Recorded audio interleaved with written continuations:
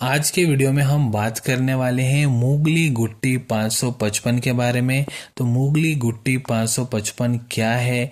इसके घटक द्रव्य की इंग्रेडिएंट क्या क्या इसमें रहते हैं? कौन कौन सी ऐसी कंडीशन है जहाँ आपके डॉक्टर आपको इसको लिख के देते हैं? इसको लेने के बाद आपको क्या क्या बेनिफिट होने वाला है? किस प्रमाण में इसका सेवन करना चाहिए? इसको लेने के बाद क्या क्या साइड इफ़ेक्ट हो सकते हैं? किन लोगों को इसका इस्तेमाल नहीं करना चाहिए? इसका मूल्य कितना है? कहाँ से आप इसको खरीद सकते हैं? पूरी जानकारी आपको इस वीडियो में देने वाला हूँ। वीडियो को शुरू से लेकर अंत तक ज़रूर देखें। नमस्कार दोस्तों, आप देख रहे हैं YouTube channel Venkatesh H Pujar और मैं हूँ डॉक्टर वेंकटेश एच पुजार। आइए आज की चर्चा को शुरू करते हैं। तो देखिए, मुगली गुट्टी 555 जो है, यह एक आयुर्वेदिक प्रॉपरेटरी मेडिसिन है। आयुर्वेदिक प्रॉपरेटरी मेडिसिन क्या होता है?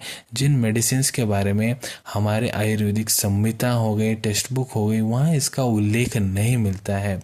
पर्टिकुलर फार्मास्यूटिकल कंपनी होती है, वो हर्बल इंग्रेडिएंट्स को यूज़ कर कर अपना एक नया फॉर्मुलेशन तैयार करती है, इसका टेस्टिंग कराती है, इसका अप्रूवल लेती है, उनके पास इसका मालिकाना हक होता है, इसलिए इसको आयुर्वेदिक प्रॉपरेटरी मेडिसिन बोला जाता है। तो देखिए, मुगली गुट्टी 555 जो है, यदि आपके बच्चे में या फिर नवजात शिशु में किसी भी तरीके के डाइजेस्टिव इश्यूज़ हैं, पाचन तंत्र संबंधित कोई भी प्रॉब्लम है या फिर पाचन तंत्र संबंधित कोई भी रोग है, वहाँ इसको यूज़ किया जाता है। अब बात करेंगे इसके घटक द्रव्य की इंग्रेडिएंट्स के बारे में कि कौन कौन से इंग्रेडिएंट्स इसमें डाले जाते हैं। तो देखिए, इसमें रहता है हरड़।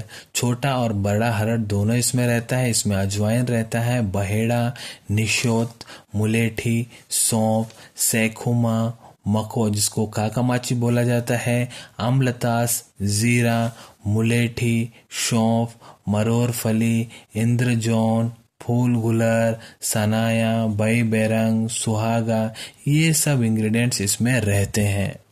आइए अब हम चर्चा करते हैं कौन कौन सी कंडीशंस में इसको लिख के दिया जाता है या फिर इसको लेने पे क्या क्या बेनिफिट होने वाले हैं। तो देखिए, बच्चों में किसी भी तरीके डाइजेस्टिव संबंधित जो प्रॉब्लम रहते हैं वहाँ इसको ठीक करने के लिए दिया जाता है, ये बच्चों में डाइजेशन को बढ़ाता है और जो इनडाइजेशन की समस्या रहती है उसको ठीक करता है।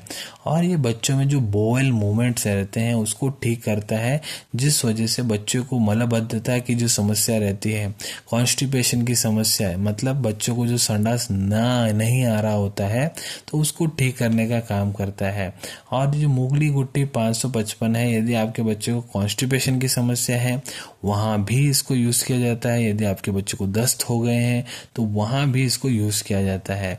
ये क्या करता है? बच्चों में भूख को बढ़ाने का काम करता है और बच्चों के जब दांत आ रहे होते हैं, देखिए, उस टाइम पे बच्चों को इनडाइजेशन की समस्या बहुत ज़्यादा रहती है, दस्त की समस्या बहुत ज़्यादा रहती है।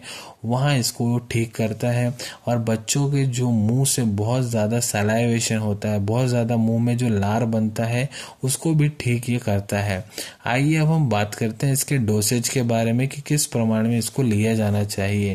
तो देखिए, जो बच्चों की उम्र है, एक से तीन महीने तक के जो हैं, उनको ये पाँच ड्रॉप्स जब आवश्यकता रहती है, तब इसको देना चाहिए। इसको दिन में एक बार ही देना चाहिए और इसको आप खाना खिलाने से पहले या फीडिंग से पहले या फिर खाना खिलाने के बाद फीडिंग के बाद इसको दे सकते हैं।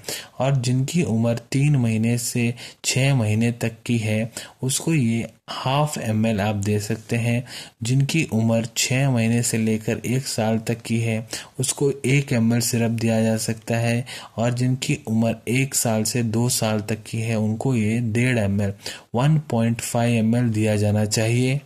जिनकी उम्र दो से तीन साल टू टू थ्री इयर्स की है, उसको ये ढाई M L two point five M L दिया जाना चाहिए। जिनकी उम्र तीन से पाँच साल तक की है थ्री टू फाइव इयर्स की है, उनको पाँच एम एल ये दिया जाना चाहिए। आइए अब हम बात करते हैं इसके साइड इफ़ेक्ट के बारे में। यदि आपने इसका सेवन किया है तो इसको क्या क्या साइड इफ़ेक्ट हो सकते हैं? देखिए, जब ये बच्चों को दिया जाता है और यदि बहुत ज़्यादा प्रमाण में दिया जाता है तो उनको दस्त लग सकते हैं डिहाइड्रेशन हो सकता है और उनको वीकनेस की समस्या हो सकती है। आइए अब हम बात करते हैं इसके कॉन्ट्रा इंडिकेशन के बारे में कि किन लोगों को इसको नहीं देना चाहिए। तो देखिए, इसका कोई भी कॉन्ट्रा इंडिकेशन नहीं है। नवजात बच्चे से लेकर छः साल के बच्चे तक आप इसको यूज़ कर सकते हैं। आइए अब हम बात करते हैं इसके मूल्य के बारे में कि कितने में आपको पड़ने वाला है। तो देखिए, साठ एम का जो मुगली गुट्टी पाँच है, वो आपको उनतीस रुपये में, थर्टी नाइन रुपीज़ में पड़ने वाला है और जो सौ एम का पैक आता है, वो आपको उनसठ रुपये में, फिफ्टी नाइन रुपीज़ में पड़ जाता है और जो एक सौ अस्सी एम का पैक आता है आपको अट्ठानबे रुपये में नाइन्टी एट रुपीज़ में मिल जाता है। अगर इसकी अवेलेबिलिटी की बात करें कि कहाँ से आप इसको ले सकते हैं तो ये देखिए ओवर द काउंटर आपको कहीं भी किसी भी Ayurvedic medical store Ayurvedic pharmacy या फिर किसी भी जनरल फार्मेसी में आसानी से मिल जाता है। तो आशा करता हूँ वीडियो में दी गई जानकारी आप सभी को अच्छे से समझ में आ गई होंगी। यदि आप आगे भी इसी तरह के वीडियोस देखना चाहते हैं, चैनल को सब्सक्राइब कर लीजिए।